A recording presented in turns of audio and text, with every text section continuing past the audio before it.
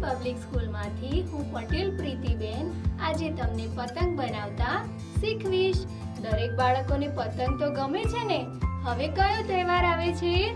તો ઉત્તરાયણ. તો ઉત્તરાયણમાં તમે શું કરશો?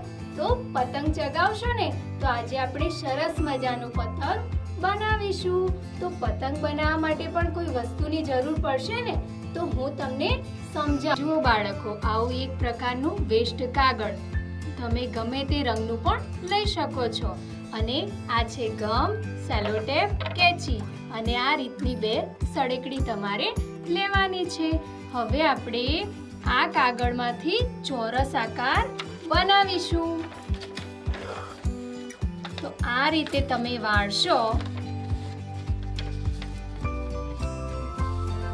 અને પછી તમારે ચોરસ કટિંગ કરવાનું છે.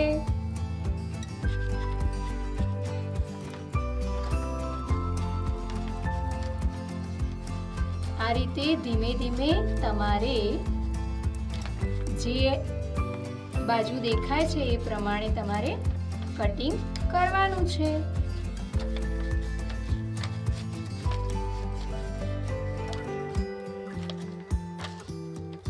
જુઓ સરસ મજાનો ચોરસ બની ગયો ને. હવે આપણે એના પર સળેકડી ચોંટાડીશું.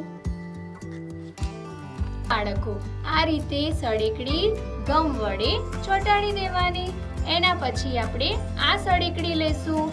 એને આ રીતે આપણે ગોઠવી અને બનાવીશું. જુઓ બાળકો, આ રીતે સળેકડી સેલો ટેપની મદદથી ચોંટાડવાની છે.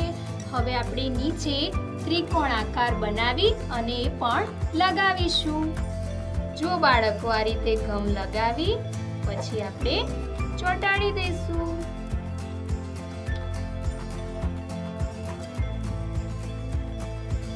જુઓ બાળકો, કેવો સરસ મજાનો પતંગ છે ને? હવે તમે પણ આવો પતંગ બનાવી અને મોકલજો મને. Thank you